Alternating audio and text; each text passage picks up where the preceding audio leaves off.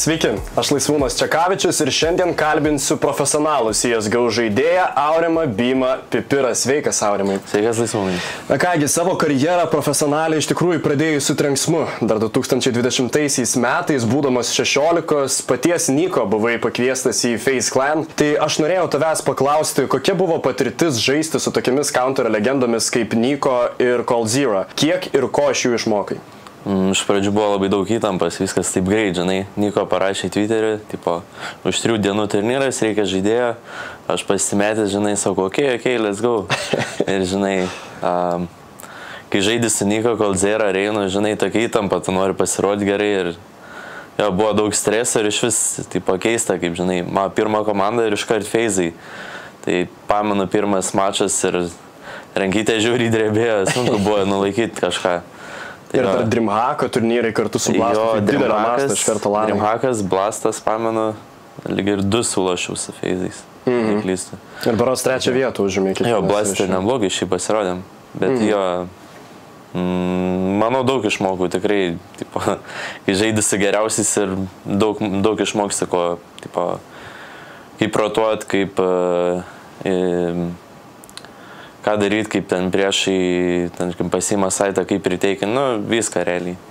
Pagrindus išmokau, jo. Aha. Tuomet sekė dviejį metai a, aktyvaus žaidimo Maus komandai. Per tą laikotarpį tapai Dreamhack Masters vicečempionas, Flashpoints trečią sezoną čempionas, Global Esports Tour Dubai vicečempionas. Dalyvavai ir prestižiškiausiose CSGO turnyruose, tai Majorė ir IM Cologne. Tai noriu, kad papasakotum apie savo patirtį ir Stokholmo Majorė, ir Dubajuje, ir na, CSGO katedroje Kelne. Mm, tai pirmą prasidėjo e, dar būnant online etapą, kai dar vis turnyrai online buvo, tai realiai daug ko ir nepamenu, nes atrodo, kiekvienas turnyras vienodas, tiesiog iš namų žaidė, ar ten Dreamhackas, ar ESL. Tai į neklys per online nieko labai nepasiekėm iš pradžių, tik po to jau su Eikaru laimėjom Flashpointą, va čia buvo vienas iš geresnių momentų mano karjeros kol kas.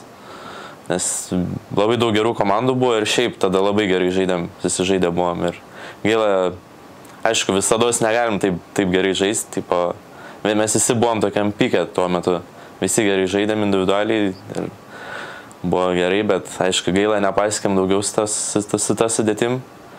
Um, ir tada jau Stokholmo majoras buvo, jau tada visai neblogai nuėjom toli ir man atrodo liko du, du mačiai iki top aštuntuko. Mhm. Uh, pamenu, jau laiminėjom mes žemėlapį prieš Virtus Pro paskutiniam žemėlapį 15-11 ir e, prafrovinam. ir jo, bet šiaip, nežinau, aišku, su tom senesnėm sudėtim realiai nieko labai ir spūdingo nepasiekėm, kiek norėjom, ypač su Keriginu dar. Bet, uh, nu, kol kas, sakyčiau, geriausias mano pasiekimas ir būtų tas kel, Kelno top 5-6, man atrodo, gaunas. Mhm. Prieš Astralis, taip arenai žais buvo įdomu, žiūrėjo 8-9 tūkstančiai žmonių. Gyvai, transliacijos jo, gyvai. 100 tūkstančių. Jo. Mm, tiesiog, wow, žinai, su vėliava išeini, toks adrenalinas, hypas pakyla. Aš gaila pralaimėjom, bet tikrai įdomu, nu, labai crazy patirtis buvo. Tikriausiai pirmas iki tokioje didelėje arenoje žaidėjai. Jo, prieš tai man teko tik tai žaisti Gaimonę, BSL, kur žiūri 200-300 žmonių gyvai. Tai čia buvo jau next level. Bet girdisi pačių gerbėjų skanduotės garsai per ausinės.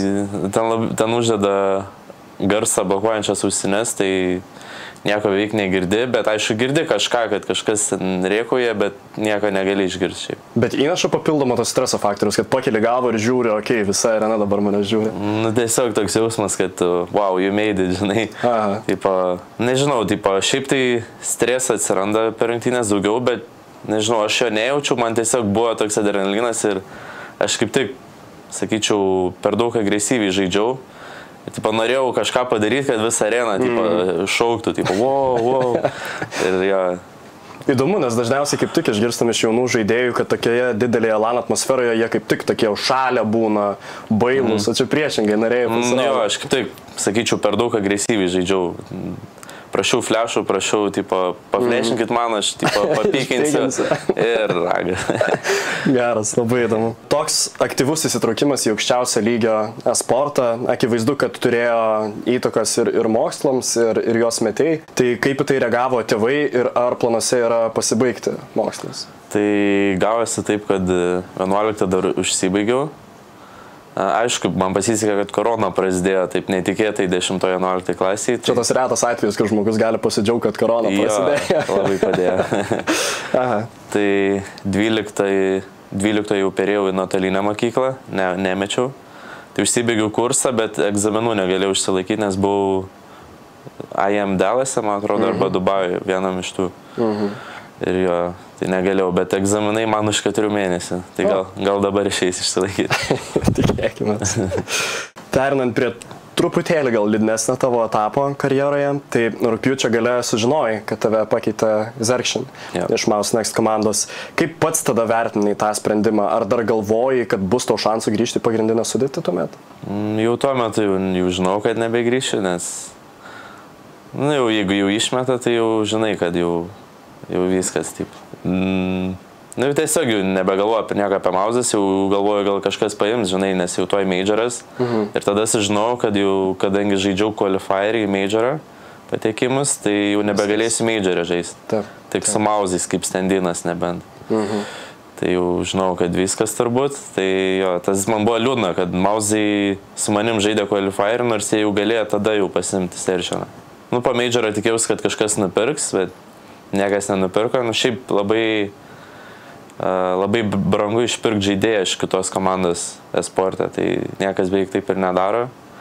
Ir jo, prieš mėnesį maždaug tapau free agentu ir tikiuosi dabar prieš majorą arba po majorą susirasti naują komandą. Va, kalbant apie tavo tapsmą laisvojų agentų, tuomet rašiai savo Twitterį įrašę, kad pastaruoju metu, nors ir Mausose esi save išbandęs labai daug rolių, bet pastaruoju metu a, matydavai save kaip lukuriuojantį žaidėją arba mm. lurkerį angliškai vadinant. Jo. Tai ar ir toliau matai save šioje rolėje, ar norėtum save visgi kažkur kitur išbandyti?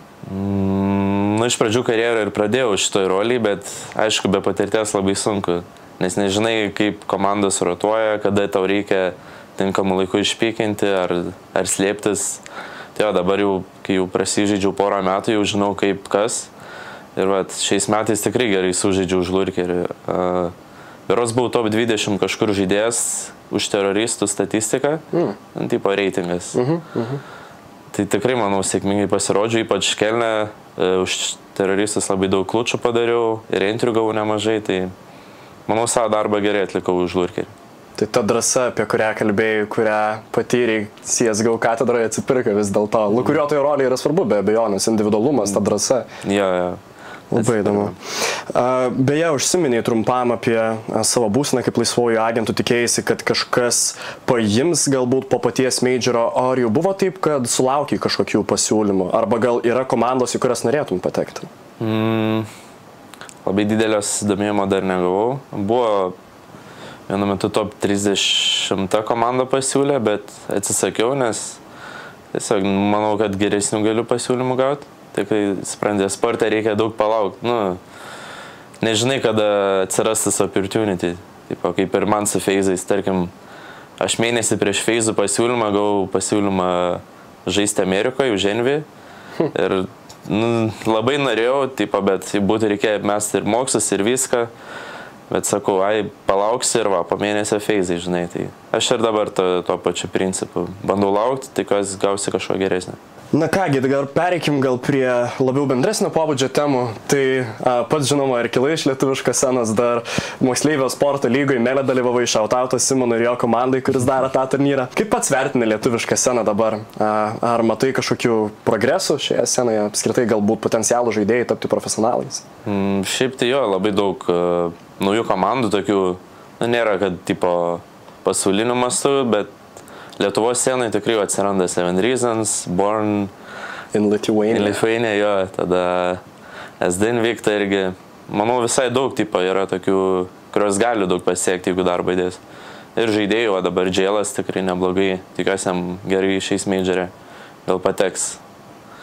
Nežinau, šiaip palyginus porą metų atgal, tai tikrai geriau dabar. Visa scena tokia daug daugiau žaidėjų ir jaunų labai daug. Nežinau, manau gerai visai kol kas.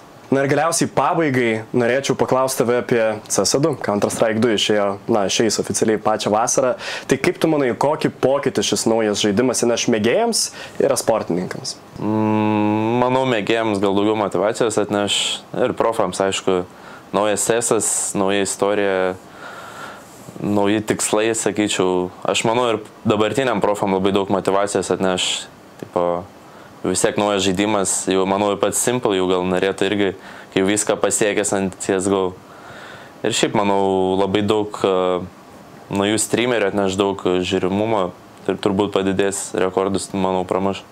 Nors rekordus jau counteris muša ja. savo žaidėjai kiekvieną savaitę, atrodo jau dabar berots permuša ja. pusantro milijono, bet tikimės, kad su CS2 bus ir 2 milijonai aktyvių žaidėjų. Tai kągi, ačiū tau, Aurimai, labai už šitą interviu. Ir ačiū Jums, mėlyje žiūrovai, kurie prisijungė prie šio video. Su Jumis buvau aš Laisvūnas ir atsisveikinu iki kitų kartų.